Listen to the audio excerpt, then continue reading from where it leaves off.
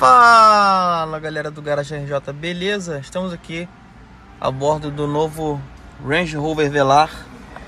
Sei que vocês gostam muito desse carro, gostam do conteúdo que eu posto sobre ele. Olha o teto solar panorâmico, esse teto abre.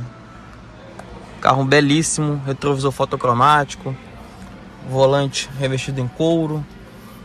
Olha uma, uma, uma curiosidade que esse carro tem, que a Velar não estava vindo. Esse aqui tem um painel 100% digital e ele tem um head-up display. Antigamente, quando tinha um head-up display, o painel não era 100% digital, tinha aquelas telinhas do lado. Olha ali. Olha o head-up display. Bacana, né? Volante revestido em couro, multimídia. Aqui o painel digital do ar-condicionado, detalhe do câmbio. Isso aqui eu acho muito chique. Você clica na logo da Land Rover e ele abre esse porta-objeto. Esse porta-copos, né? Na verdade. Mas dá pra ser porta-objetos também. Só é ruim que é tudo em black piano, então, cara, você fez assim, já, já, aí, já cagou tudo já. Mas é lindo, né, cara? É muito bonito. Aqui porta-objetos. Mas se isso aqui tudo fosse aço escovado, né? Isso aqui, pelo menos, eu acho que é, seria igual isso aqui, ó. Seria melhor, porque, sei lá, não suja tanto, né? O black piano é bonito, mas aqui, ó. A tela da... Aí, já cagou tudo. Mas é lindo. Apoio de braço em couro. Com abertura individual. Tá? Isso é interessante porque às vezes alguém tá com o braço aqui, você abre, pega o que tem que pegar e a pessoa continua com o braço aqui. Temos uma entrada USB do tipo C, cartão de memória, USB normal e o porta-objetos é todo forradinho. Esse interior tá um esculacho, hein? Olha isso, cara. Tá um tapa na cara esse interior. Couro marrom, com preto, costura branca. Né? Você repara que na porta você tem um acabamento aqui em aço escovado. Olha isso, que maravilha. Mais couro marrom, maçaneta em aço escovado. Olha essa maçaneta, que coisa linda. Olha isso, cara. Olha esse design. Tapa na cara. Três memórias de banco para o motorista. Tem abertura e travamento das portas. Comandos elétricos aqui do vidro. E regulagem aqui do, re... do retrovisor elétrico. Aqui também temos acabamento macio, um soft touch, belíssimo carro. Aqui também temos abertura onde você vai abastecer o carro. Aqui a abertura do porta-malas e aqui regulagem da iluminação do painel. Pedal shift em alumínio. Tanque, a tampa do tanque destravada. Ele me avisa. Por que, que tem esse aviso? Porque esse carro ele é híbrido plug-in. Então o que acontece? Para você abastecer, ó, aqui é a parte de eletricidade. Então para você abastecer o carro, você tem que destravar lá dentro combustível líquido. Vou, vou, vou travar, ó. Ele vai travar. Dá um tempinho, ó, ouviu? E aí, ó, eu não consigo ter acesso, somente destravando lá dentro no carro.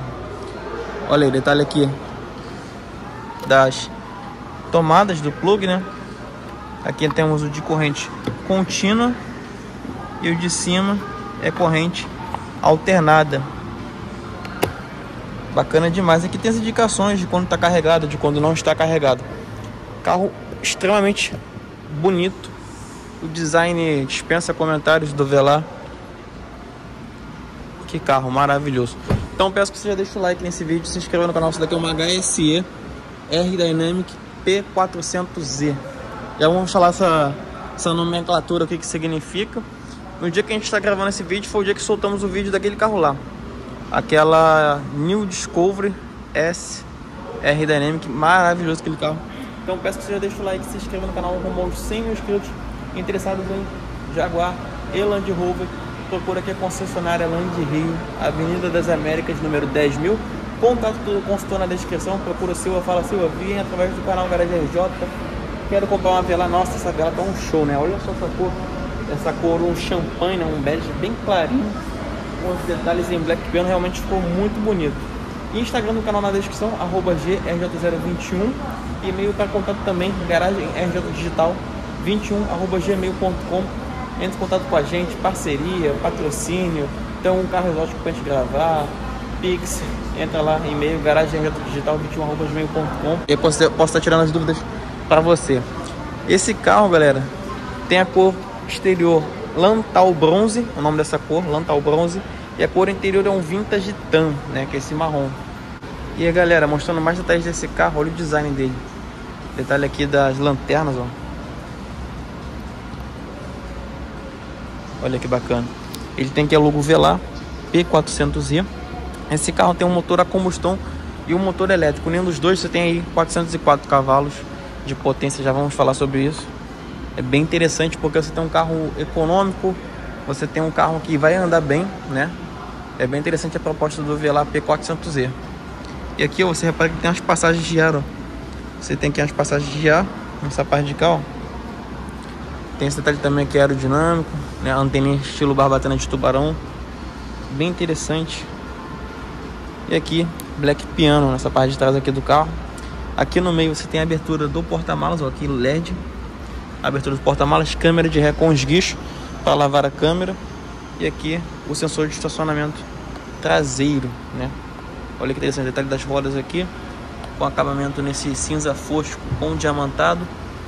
O pneu dele é um 265-45 Aro 21, é um Michelin Latitude Tor HP. Esse é o nome do pneu. A maçaneta tem esse estilo aqui, é escamoteável, tem iluminação aqui na maçaneta também. E esse é o design do teto do carro. O teto dele tem esse design. E aqui quando você vê tem uma linha, é porque ele tem a abertura do teto, né? Então bem bacana isso. Essa cor realmente ficou muito bonito, cara. Casou muito bem, porque destacou os detalhes em black piano. O teto destacou as rodas, a frente do carro também. Olha esse detalhe, cara, da dianteira desse carro. Incrível. Aqui embaixo você tem sensores de estacionamento. Temos ali também a logo R Dynamic, como você pode reparar aqui, ó. E aqui o sensor entrada de ar aqui lateral, tem esse design, né? Traz uma musculosidade para o carro, uma agressividade. Aqui um front lip.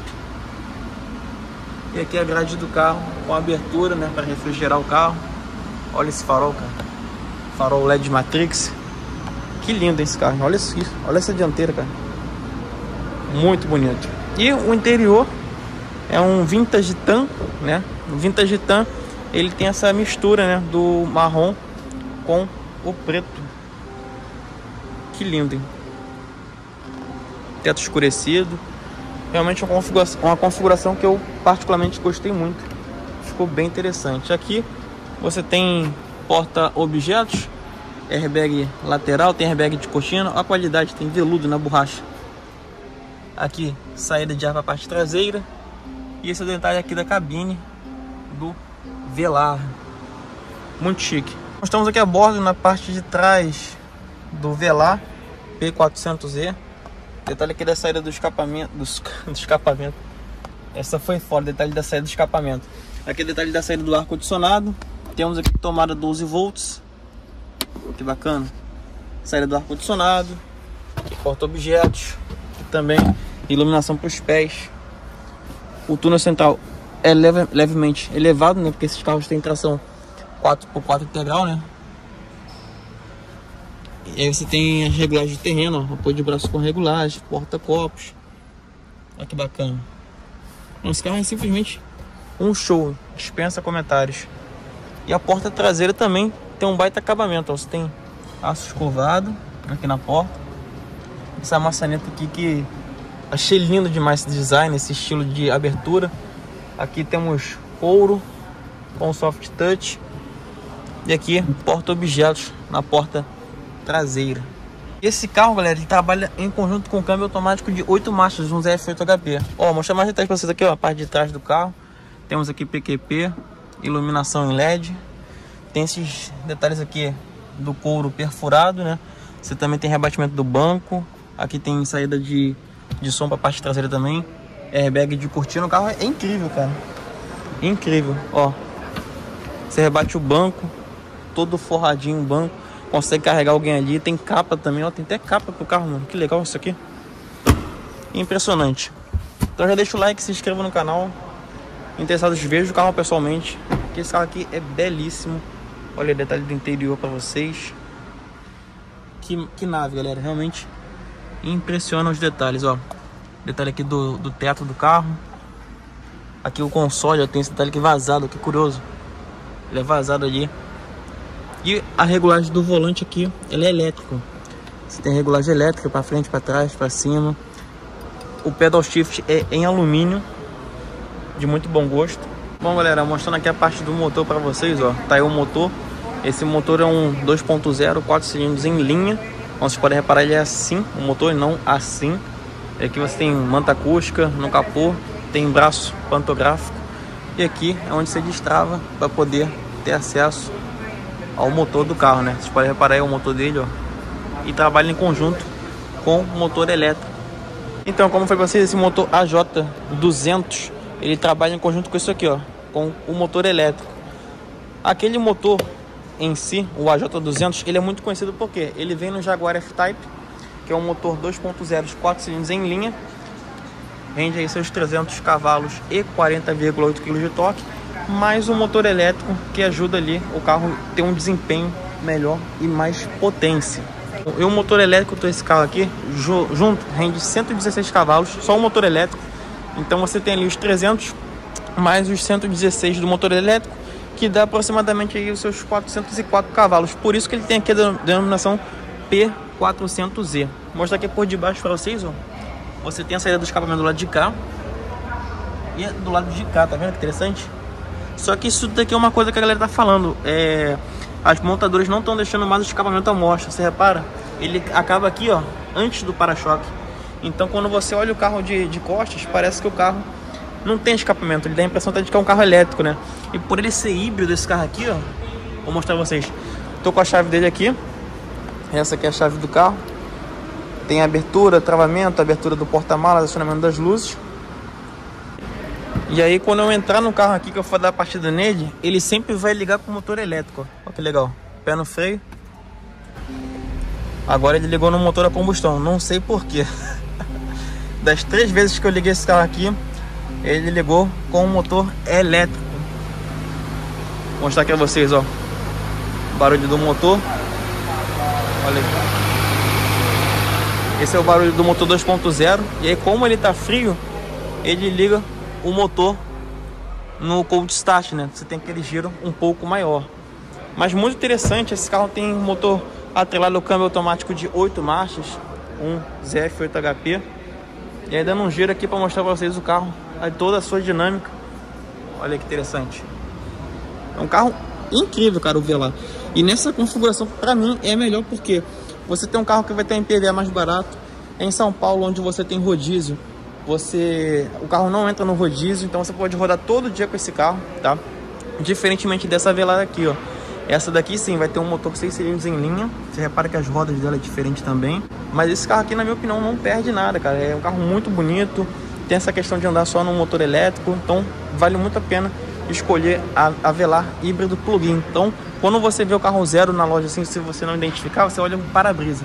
O para-brisa ele tem aqui escrito é, veículo elétrico. E aqui você tem a parte de consumo. Somente no motor a combustão, ele tem 8,6 km por litro e 9,4 na estrada.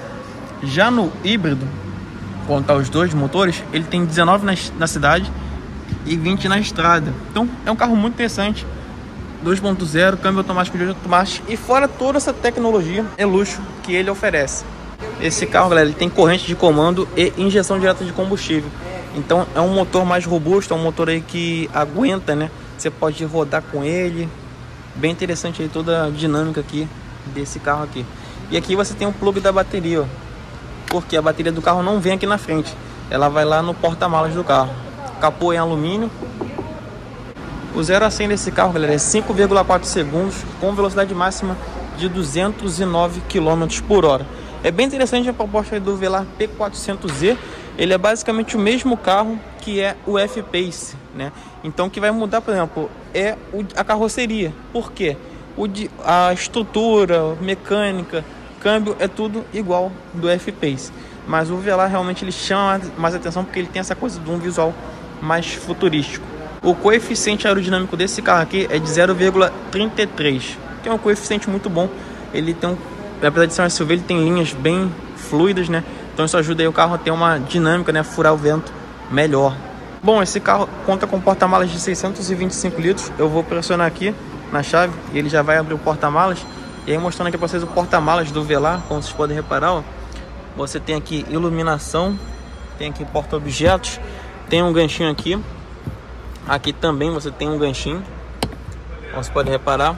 E aqui tem essa esteira, ó, que você pode puxar. Ela travou aqui. E aí você protege aqui, quem está de fora não vê o que você está carregando aqui no carro. E aqui, detalhe do tampão, ó. Ó, que bacana. Você tem aqui o kit de reparo do pneu com compressor, né? Então o que acontece? O carro não tem step e aqui vem um líquido, ó. O líquido vedante vem aqui do lado de cá. Aí você coloca no compressor, então conforme ele vai colocando o ar no, no pneu, ele já vai enchendo o, o pneu com o líquido e reparando o pneu do carro. E você repara que aqui, ó, ele tem uma placa, ó. Deixa eu ver se você consegue levantar isso aqui, isso aqui não levanta, ó. Mas aqui você já vê parte da bateria, né? Do conjunto elétrico, ó. Olha que interessante. Então aqui embaixo dessa capa você tem a parte aqui do motor elétrico, né? Aqui tem uma capa do carro e aqui tem a, a parte de carregamento, né? Para você usa, levar e carregar onde você estiver com o carro, seja na sua casa. Então aqui você tem um cabo, esse daqui você consegue carregar é, em qualquer lugar, que é o de corrente alternada. Então quando você for carregar ele, o de corrente alternado, que é aquele plug lá.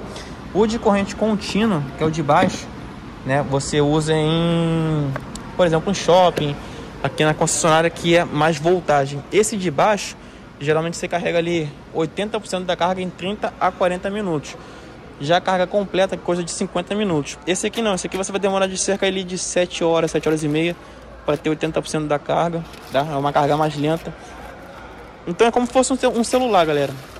Entendeu? Você chega em casa, bota para carregar e o carro vai carregando. Bem interessante. Mas como a bateria aqui é menor, né? Ele é um híbrido. Então, se eu não me engano, ele carrega mais rápido. Né? Não precisa de esse tempo todo para carregar. E aqui você tem parte do triângulo do carro, bem nessa capa aqui. E aqui uns ganchos aqui para poder rebocar o carro se necessário. Esse carro, galera, tem uma autonomia somente no motor elétrico de 33 km. os ganchos aqui também, bem bacana. Vamos fechar o porta-malas aqui. E o que impressiona nesse carro é que ele tem 404 cavalos e 65 kg de torque você unindo os dois motores, o elétrico e o a combustão.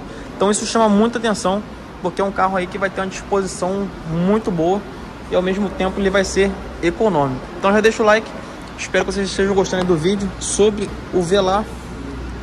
Impressionante, olha aí galera. A plataforma do Velar, galera, é D7A série L560 se a gente consegue ligar o carro aqui, mas antes mostrar para vocês algo interessante que é como funciona a maçaneta. Eu apertei, ele já travou o carro e fecha o retrovisor. Abri o carro, ele destrava as maçanetas e abre o retrovisor. Aqui tu aciona o alerta, aciona as luzes, enfim. O carro é maravilhoso, cara, maravilhoso. Realmente chama muita atenção esse carro aqui. Deixa eu ver se ele vai ligar somente no elétrico. Porque da outra vez eu liguei. Aí, agora foi, ó. 100% elétrico o carro. Olha, já abre a persiana. Por quê? Quando eu travo o carro, ele já fecha a persiana sozinho. Quando você abre, ele abre a persiana do carro. E pra cá, você vai abrir o teto solar. Ó. Você pressiona, ele vai abrir o teto. Deixa eu mostrar de fora. Olha que legal. E olha como o teto ele vem longe, né? Ele vem até aqui na parte traseira. Olha que interessante. O carro todo, ele tá ligado, mas ele tá só no motor elétrico. Então isso é muito bacana é uma tendência, né? Na minha opinião, galera, é o carro híbrido, ele é o que mais se encaixa hoje no nosso cenário atual aqui no Brasil, porque você não fica refém do carro somente elétrico. Então, se você não tiver carga, você só encher o tanque de gasolina e rodar com ele, entendeu? E como ele é um híbrido plug-in, você, conforme vai andando com o carro, vai carregando. Olha o nosso amigo aqui, o Igor aqui. Tá aqui na Land Rover aqui. Essa configuração tá bonita, hein? Não, demais esse, esse, essa cor exterior que é meio champanhe, com interior com marrom. Bom, falando aqui do interior do carro, olha só que bacana. Temos aqui detalhe do console, todo digital, multimídia. Olha só, ele mostra aqui a parte de regeneração.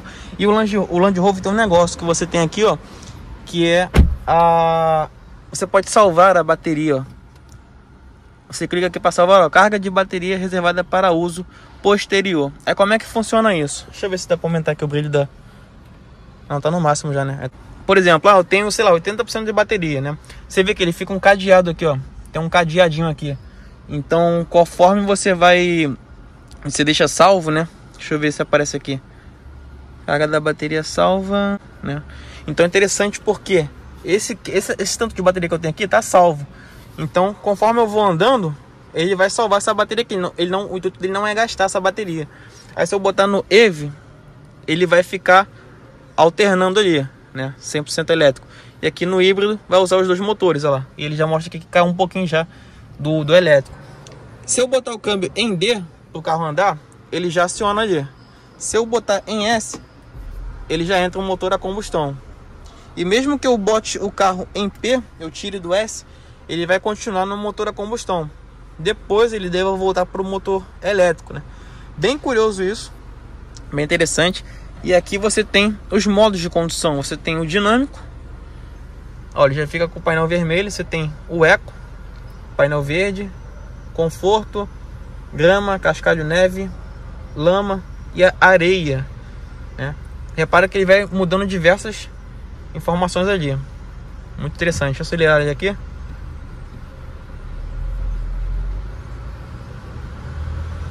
Ele é bem tranquilo.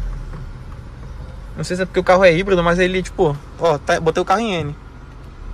Ó, ele não sobe muito o giro do motor e trava em 3 mil giros. Curioso, hein? Aqui é a central multimídia. Tem aquela configuração que quando tu clica aqui na engrenagem, ó, você consegue, ó, mexer no ângulo da tela. Tem tema escuro desligado, você consegue aumentar o brilho da tela também. Ó, Dá pra aumentar o brilho, aumenta o brilho das duas telas, era isso que eu queria fazer. E não tava, não tava conseguindo. É, dá pra mexer na configuração do som, do carro, enfim, muito bacana. Aí aqui você tem GPS nativo já, bem intuitivo esse GPS. E se o carro tiver pouca gasolina, ele já mostra aqui o posto mais próximo. Todas aquelas comodidades que a gente já conhece. Aqui Bluetooth, quando tá pareado com o telefone é, mídia, aí você tem rádio. Deixa eu fechar aqui o teto dele. Que elegante esse teto solar. É um show a parte, né? Não, a assinatura desse farol também dispensa comentários. Olha só como é que fica lindo, cara. O farol aceso, ó. Farol alto. Seta. Olha a seta desse carro, que legal. Olha lá. A seta. Farol alto. E somente a luz de posição, ó. Que bacana, hein? Meu Deus do céu. Incrível. Vamos ver uma rádio aqui para poder colocar alguma música aqui. Escutar. Ó.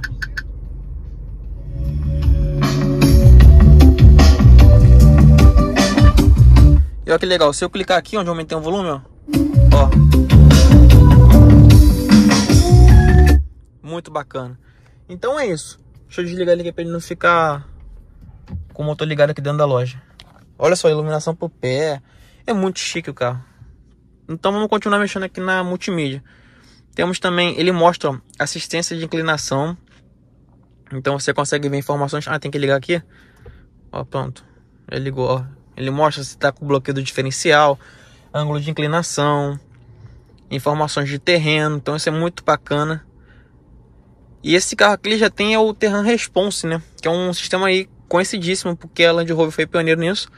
E dependendo da, da localização do GPS, o carro já consegue identificar como que está o terreno que o carro vai passar. Então ele já programa a suspensão para o carro não sofrer com o asfalto, né, com o terreno que ele vai passar. Ele inclusive consegue, não sei como, ele reconhece buraco. É surreal, entendeu? É surreal. E esse carro tem suspensão pneumática, então tu consegue baixar, aumentar a suspensão dele, deixar o carro mais baixo, mais alto, né? Incrível. E aqui temos informações de energia, ele mostra o que está gastando, no caso aqui o ar-condicionado, né? Aí tem dicas de economia, histórico de, de uso, né? Estilo de direção. É bem interessante porque esses layouts que ele tem aqui disponível é uma forma de o carro conversar com quem está guiando ele, né? Então que você consegue ver o motor, olha, ele tem um desenho do motor certinho, ó. O motor e todo o sistema de câmbio, bateria, eixo traseiro, né? Muito interessante. Você consegue ver a energia ali, tudo acontecendo. Atualmente eu tenho 59% de energia elétrica, tá me dando mais ou menos 24 km só com motor elétrico. E unindo os dois temos 186 km né, de autonomia. Isso é muito interessante. Né? Aqui no painel também ele me dá essas informações, ó. Tá vendo? Ele me dá essas médias aí. Show! Gostei demais, hein? Não tem muito o que falar. É um carro incrível, tem leitor de faixa, piloto de cruzeiro, limitador de velocidade. Dá para você mudar o layout do painel, ó, layout de exibição. Você consegue alterar, botar visor único.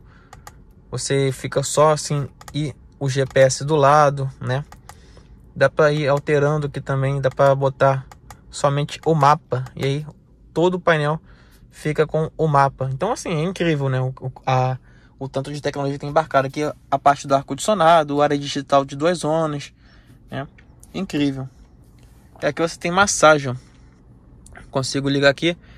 Já ligou a massagem? Meu Deus do céu, isso é muito bom. E aqui você tem os tipos de massagem. De cima para baixo. Aqui é cima para aqui é de baixo para cima, de cima para baixo. Aí aqui você tem só para baixo. Aqui é só na parte de cima do banco. Cara, o banco faz maravilhoso, hein? Pelo amor de Deus, que que é isso, cara? Mas é muito, muito bom. E aqui aquecimento do assento. E aqui climatização. Incrível, incrível. Então já deixa o like, se inscreva no canal. Rumo aos 100 mil inscritos. Espero que vocês gostaram do vídeo do Range Rover Velar. Espero ter mostrado bastante para vocês sobre esse carro aqui. Então interessados, procura aqui em Land Rio. Vejam de perto, que é um carro que vale muito a pena. É isso aí, galera. Tamo junto. Valeu.